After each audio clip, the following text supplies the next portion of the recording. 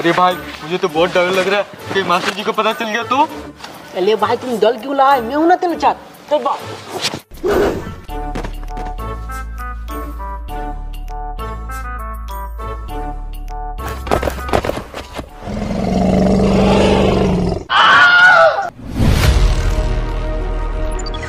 भाई मुझे सांस लेने में तकलीफ़ हो रही है। तो ले क्यों रहा है?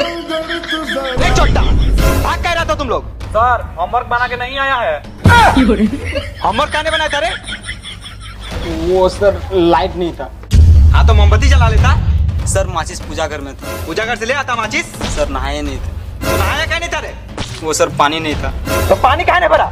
सर आपको कथा पर बताएँगे जब लाइट नहीं था तो पानी कैसे भरेंगे? छोटा बाप दादा नहा के मर गया तालाब के पानी में और तू मोटर के पानी में नहाएगा?